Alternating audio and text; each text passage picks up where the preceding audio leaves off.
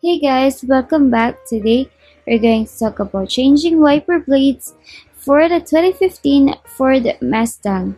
But first, why do we have to change a wiper blade that is damaged, stolen, old, or not working properly?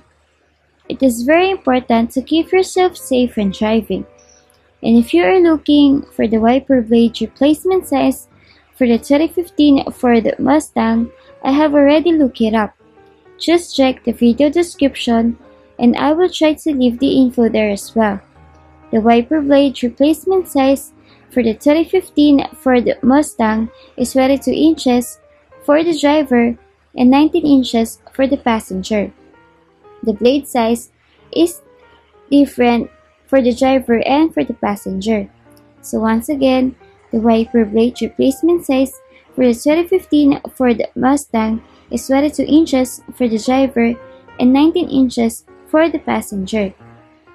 And if your 2015 Ford Mustang uses a different size or if you know a cheaper place to buy a wiper blade replacement, be sure to comment down below and let the rest of us know. Don't forget to check the video description for the recent price. Thank you for watching this video. Please like and subscribe.